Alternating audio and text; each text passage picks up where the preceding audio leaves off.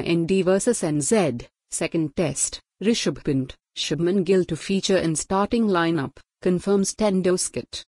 With India looking to bounce back from the 8-wicket thrashing at Bengaluru in the opening test, the focus will be on the team combination. Shubman Gill and Rishabh Pant, the duo with fitness concerns, are set to feature in India's starting lineup in the second test against New Zealand. With the series on the line, despite the good news, Gill's availability will mean the selection dilemma plot will thicken over the next two days. Rishabh is pretty good, he was having a little bit of discomfort at the end range of his movement with the knee. But fingers crossed he will be good to keep in this test as well, Ryan ten Doeschate, India's assistant coach said here on Tuesday. While Pant was hit on the stitches on his right knee while keeping in Bengaluru, handing over the gloves to Dhruv Jurel, the reserve wicket-keeper. Gill, meanwhile, missed the series opener due to a neck sprain. Both Pant and Gill had long stints in the nets at the Maharashtra Cricket Association Stadium and did not appear to be in any discomfort. Gill, especially, looked solid.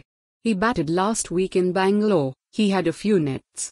He has got a little bit of discomfort, but he will be good to go for the test, said ten Doeschate. Also read, India a squad for Australia tour, full list of players, venues and dates.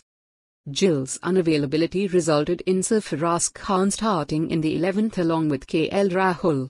While Rahul had two low scores, Sarfaraz's aggressive 150 in the second innings brought India back into the game. Sarfaraz's innings made a serious case for him to be preferred over Rahul for the must-win test, starting Thursday. While Rahul had a long vigil in the nets, Sarfaraz, on paternity leave, was granted an additional day with his newborn baby. He will join the team for Wednesday's practice session. ten Doeschate agreed it was a happy headache for the team management. Sir Sarfaraz was obviously brilliant in the last test.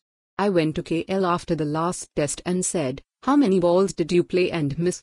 He didn't play at miss at one ball, and that's what tends to happen when you are not getting runs. He got the two balls in the game, one caught down the leg side and one that he managed to nick, he said. There are certainly no concerns about KL. He is batting nicely, he is in a good mental space, but we are certainly going to have to fit seven pieces into six spots for this test and look at the pitch now and decide what's going to be best for the team. Related topics. India. Slash. New Zealand. Slash.